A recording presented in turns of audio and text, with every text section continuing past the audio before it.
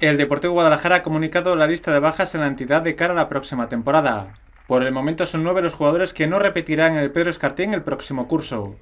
A los nombres ya conocidos de Manolo y Luis Carlos que habían anunciado su salida en sus redes sociales, se suman los de Módula, Mario del Campo, Pantoja, Marcos Blázquez, Joseja, Adri Castro y Pablo Zotes. En el caso del extremo, como recalca el club, se trata de un caso particular, ya que el jugador vuelve de nuevo al Zamora, recién descendido a segunda red, tras finalizar la cesión que le vinculaba al Depor durante esta temporada. A través del comunicado oficial, el club expresó su agradecimiento a todos los jugadores por su compromiso y profesionalidad, al tiempo que se les deseaba toda la suerte del mundo en sus nuevas etapas. Esta lista de nueve jugadores no es cerrada, ya que quizás no todos los futbolistas a los que se les ha ofrecido la renovación continuarán en la entidad alcarreña. Con todo, poco a poco se va perfilando el plantel del Depor de cara a su estreno en la segunda ref la temporada 2022-2023.